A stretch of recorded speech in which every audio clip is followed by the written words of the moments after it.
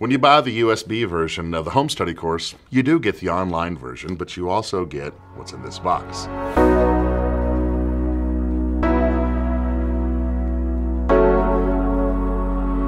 Let's see what's in the box.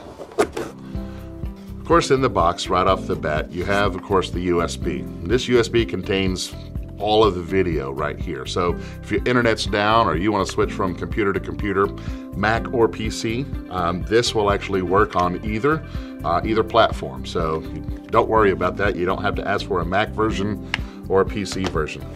Of course, you got a handy little tool. I know it kind of seems very small. There's a lot of places in the RV where we actually use a small screwdriver. I think for me, uh, the coolest thing that we have are the eight booklets. Now, these are actually what I go through uh, up on the screen. You actually get a copy of this where you can write your notes as, as I am talking or as you are learning. This will actually be a place for you to contain your notes. I've got eight booklets here, uh, two on electrical, one on propane, one on water systems, one on air conditioning, uh, one on refrigeration, one on water heaters, and then of course one on furnaces.